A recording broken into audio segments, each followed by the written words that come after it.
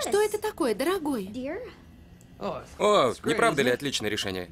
Смотри, тебе нужно только убедиться, что вот эта маленькая штучка закрыта, потом повернуть.